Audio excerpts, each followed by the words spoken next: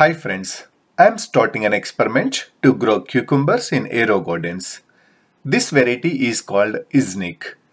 It is a parthenocarpic variety and it doesn't require pollination. By the way, if you have any questions on the pollination, I have a separate video explaining all about pollination, especially in the context of indoor hydroponics. Please find the link in the description below if you are interested.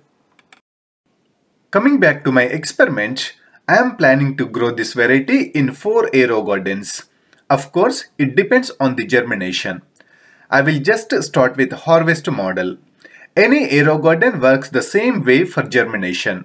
So I will use harvest for germination and move the seedlings later on. I am placing one seed in each pod and starting with 4 pods. Alright, the garden is ready.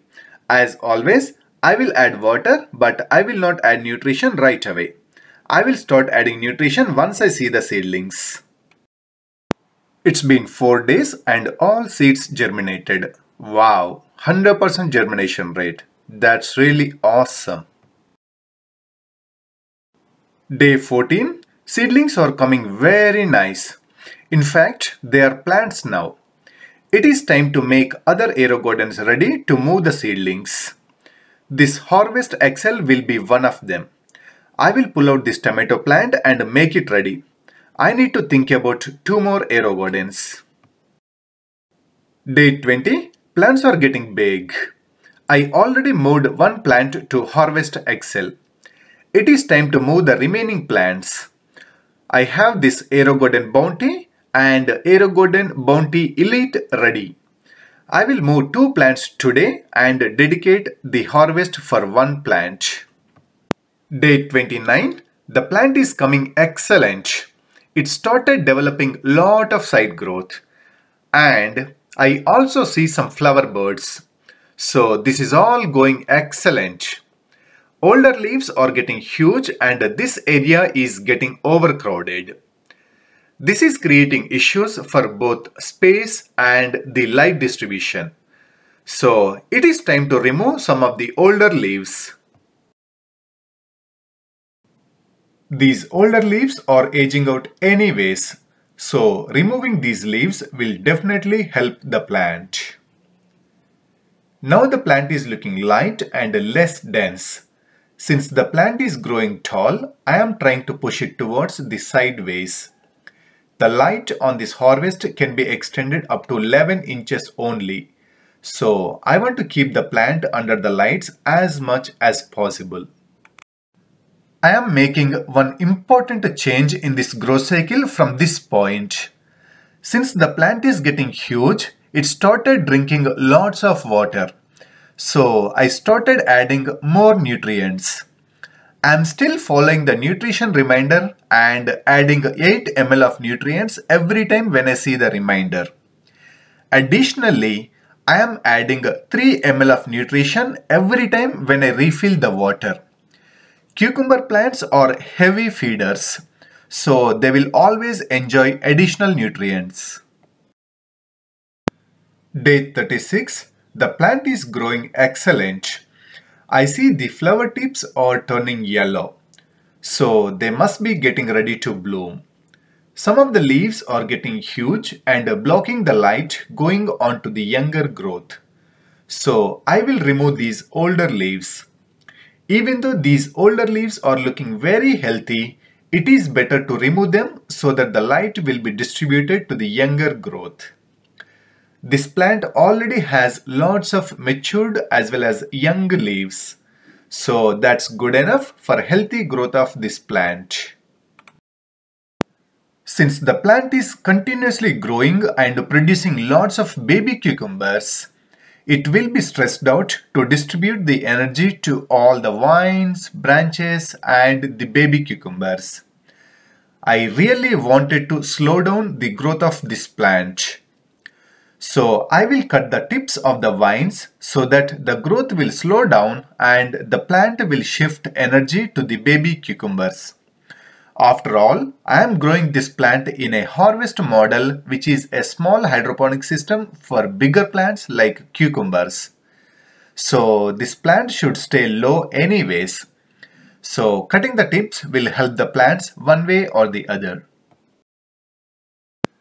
Day 45.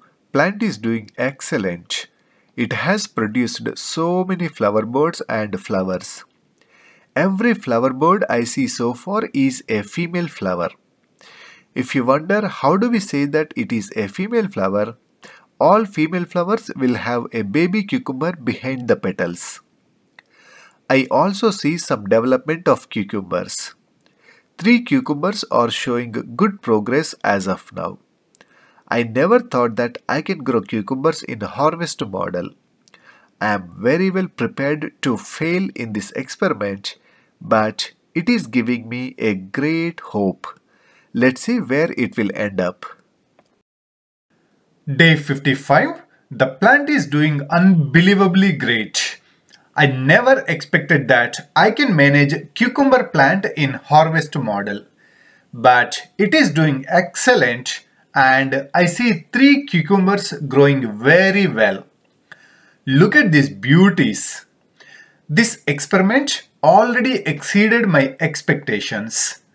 Reaching to this level of success in this small aero garden is definitely an amazing thing.